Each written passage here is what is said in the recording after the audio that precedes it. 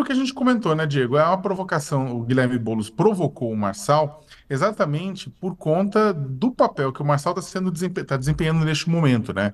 Não há muita gente que acredita que o Marçal vai levar a candidatura até o final. Ele pode até levar, mas neste momento não há muita gente que acredita que, que ele pode levar. Ele está querendo capitalizar a imagem dele é, neste momento é, junto ao, ao eleitorado mais à direita, né, esperando eventualmente que o prefeito Ricardo Nunes tropece, o que também é difícil porque ele tem um controle da máquina, está faltando até o céu em São Paulo, né?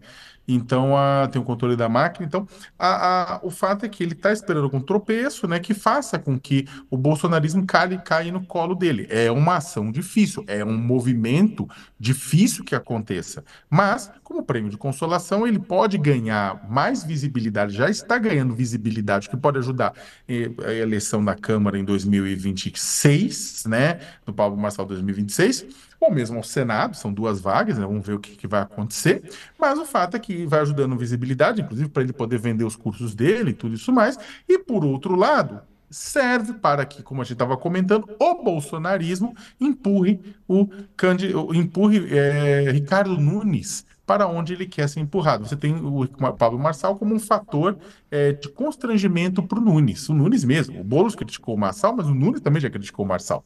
Então, é, ele, ele criticou, falou que achava que essa candidatura não iria para frente, né, tudo isso mais, exatamente porque ele sabe que o Marçal está sendo usado pelo bolsonarismo, pela ultradireita, para empurrá-lo né, para onde ele quer. Lembrando, como a gente estava falando, o Lula ele tem 45% de, de pessoas que não votariam nele de jeito nenhum em São Paulo, e o Bolsonaro 61%. Na eleição de 2022, o, o, o, o Tarcísio e o Bolsonaro ganharam no estado de São Paulo, mas perderam na capital né, perderam na capital, tanto para o Lula quanto para o Haddad, exatamente por conta de uma característica, né? A capital é mais progressista que o interior de São Paulo, né? Então, vamos ver. Eu, eu, aí o Nunes fica naquela. O Nunes não quer desagradar o eleitor mais centro ou progressista, mas ao mesmo tempo ele não quer é, também desagradar Bolsonaro, exatamente porque ele precisa dessa, desse piso de votos do bolsonarismo em São Paulo e precisa que um candidato como o Marçal